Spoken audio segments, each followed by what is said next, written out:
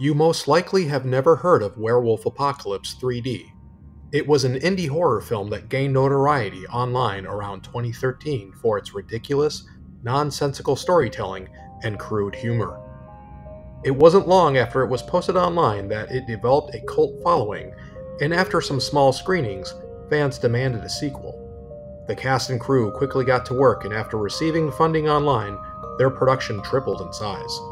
A script was written, and six months later, a new location for the sequel was finally chosen a campground consisting of several hundred acres of private woods in northern Michigan.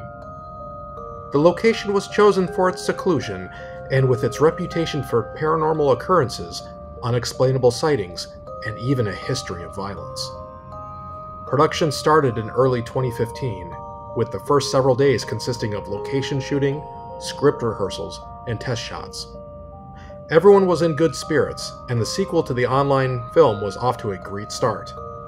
However, only a few short days into filming, everything was put on hold due to the mysterious disappearance of actor and co-writer Josh Burton. With no eyewitnesses and only a series of muddy tracks leading into the desolate wilderness, the actor may as well have vanished into thin air. What followed was the largest manhunt the county has ever seen, with on site police investigations, paranormal investigators, and a stunning revelation. This was more than just a man lost in the woods. Like and follow for part two.